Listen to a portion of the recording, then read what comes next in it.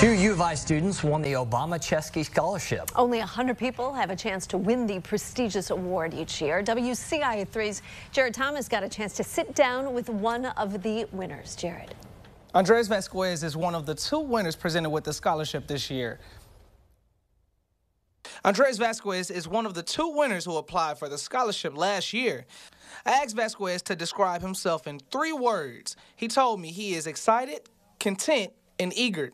It helps reduce the stresses of paying for college by giving us $25,000 uh, per year, up to $25,000 per year uh, this year and next year. So Winning the scholarship is something he says he can't imagine.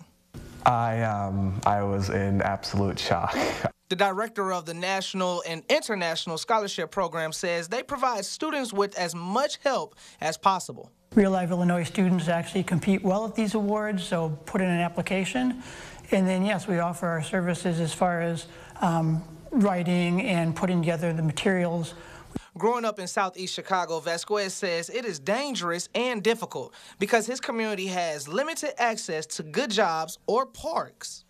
The neighborhood has lost investment, transportation's gone away, and the access to parks, which is what's really critical to me, has also uh, reduced. The ambient air in the environment is bad there. His goal, making a difference and helping people any way he can. So I wanted to increase park access because I have never walked to my local park.